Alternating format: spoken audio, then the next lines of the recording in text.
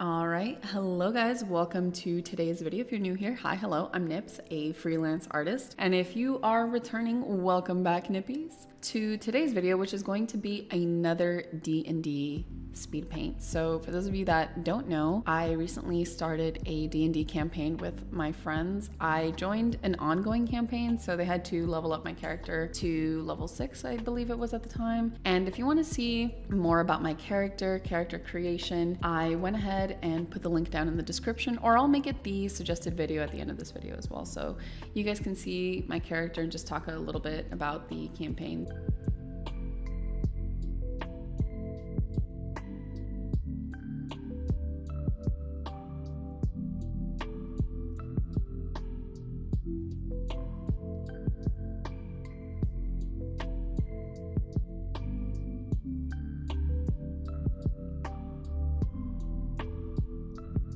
here, I ended up doing some scenes from some of the sessions that we've done. There is this little slime girl named Renali who's taken a liking to my character Kaxar, and they have also taken a liking to Renali, and she does this thing where she's just super happy, kind of like pushy in an energetic, very endearing and sweet way. And they kind of cracked through Kaxar's kind of, I guess, like defensive wall, like that edgy defensive wall. I don't know. But um, she'll always do it by putting hand out and kind of, you know, wanting to shake their hand. And so in this little comic, I wanted to draw out the scene where Kaxar finally shakes her hand, but she's like all slimy. So they end up with a bunch of goop on their hand and stuff.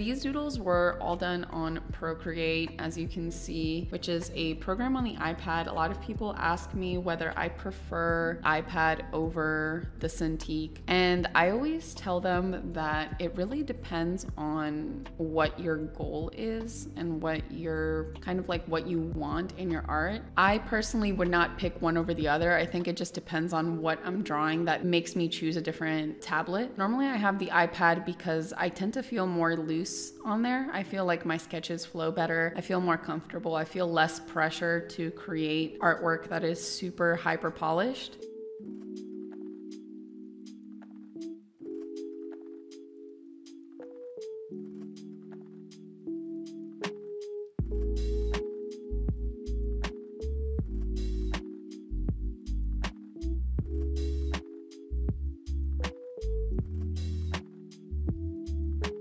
I do feel like the Cintiq has kind of conditioned me to just see it as a refined piece kind of tablet. So a lot of the things that a lot of the finished products and just more polished products tend to be on the Cintiq for me. And so also the fact that my Cintiq does not have portability. I don't have the, I used to have the old one where you could take it with you, but it was really heavy. And I use the iPad for that purpose specifically, which is just portability. And the iPad weighs absolutely nothing. It's just so easy. It's like carrying a notebook. I have the older version and honestly, it still works pretty well. A lot of people ask me if I'm gonna update and honestly, I don't really see myself updating anytime soon unless like money falls out of the sky where I'm like, oh, might as well. But other than that, honestly, it works just fine the way it is at the version that it's at.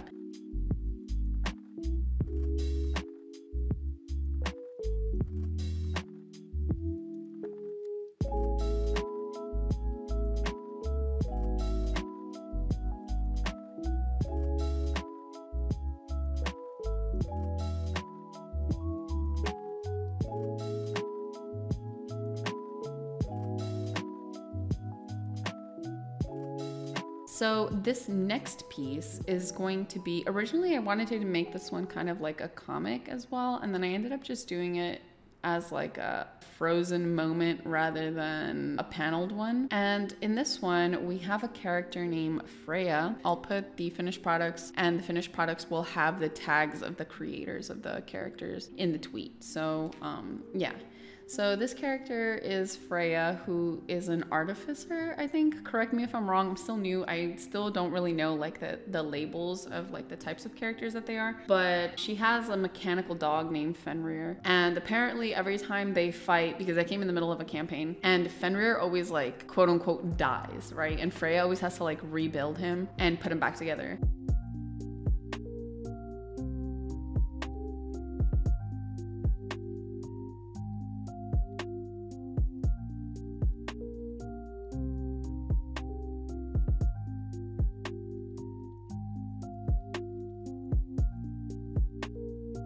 Kaxar, I think I talked about it in the last video, where they have a pet that they lost that they're on the search for named Pep. And so they have kind of like a soft spot for pets, you know, and um, Fenrir during one battle dies, like gets split in half.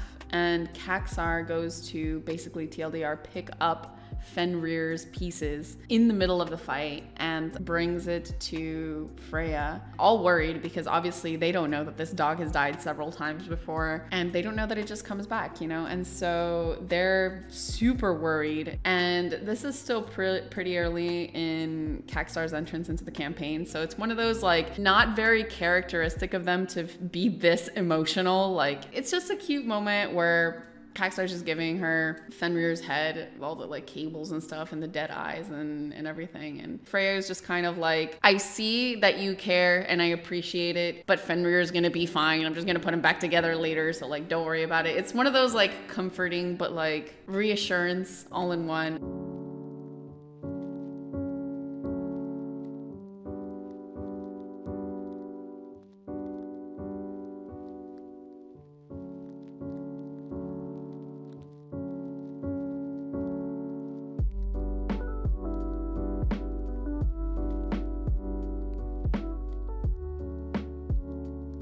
I feel like I didn't do it that much justice to be quite honest. I feel like I was having a lot of trouble with like the proportions and like the anatomy, but also keeping it very sketchy. I feel like I got very impatient with the line quality and with like, like I feel I'm super rusty right now. I have, I, I have this conversation literally every time I stream that I'm just super rusty as far as like my lines and my anatomy goes. I definitely want to do a practice stream at some point to just get back into the groove because right now I feel like my poses are very stiff. My anatomy is not very tangible. Like the shapes aren't very accurate and just there's so much going on. So I feel like right now I'm struggling to draw quote unquote very basic things that I normally don't or shouldn't struggle with, I guess. So this is kind of a, a visual representation of the struggles of my uh, anatomy slash composition slash shapes and all of that.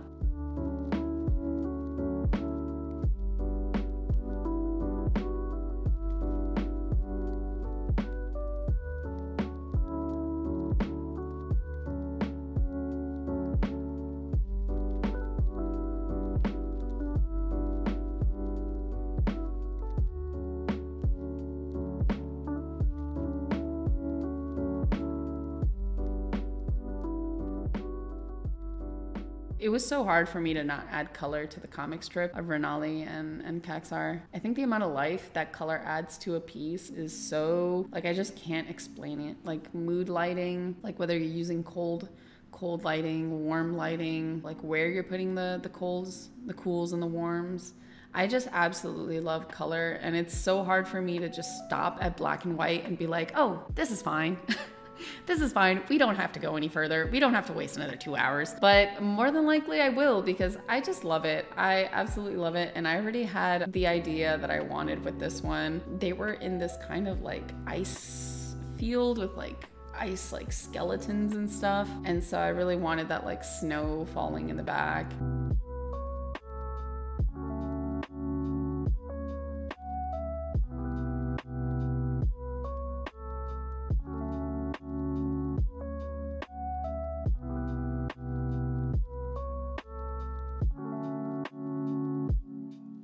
I had some issues because I wanted to add some details, like where some of like the fallen monsters and some of uh, like our teammates may- maybe. But not only was I not drawing it right, but I just I figured it would be a little too distracting, so I ended up just erasing all of it and um, keeping it rather blank. That's another thing I have to work on. I have to practice my backgrounds. I am just not the best. I just realized how boring my commentary is. Like I don't really I don't really say anything. Like nothing is really funny. It's just me galaxy braining my art for like 10 minutes every week. Let me know down below. What do you guys think of my commentary? Is it annoying?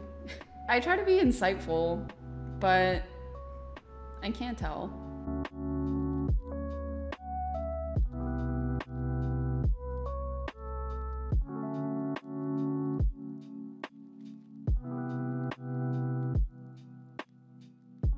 So here I'm adding some backlighting. I have I have a weakness with backlighting. I think backlighting is so beautiful and like the mood that it creates is so unlike like I just really like harsh lighting is what I like. I don't know what it's called. Is it rim light? Like a rim light? I basically like any sort of like lighting from the back, from the bottom, from the top, like that type of lighting where it's mostly dark and just really like accents of light. I think creates such a beautiful mood. So I typically, especially during these like cropped out scenes, I tend to always reach for backlighting. And I think it might be something I'm crippled by at this point. I feel like I need to expand and just learn a little bit more about color theory and different types of moods and lightings, backgrounds, etc.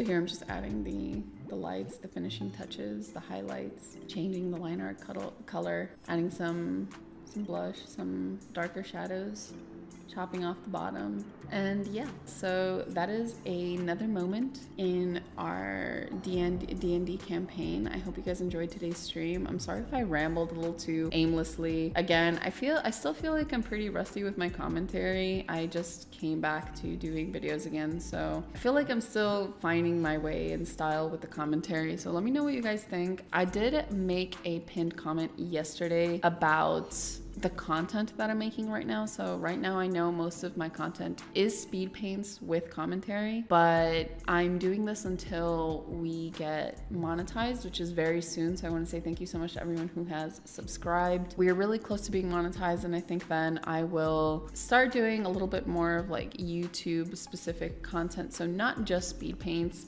So that way we have a, a little bit more variation and a little bit more informative of a video than just commentary. Let me know what you guys think down below. Hopefully you guys enjoyed this video. Hopefully you guys will see more D&D art soon. I'll keep telling you guys about it. I'll put all the links down below. So go ahead and follow me on Twitter, Instagram, TikTok, all at Art by Nips.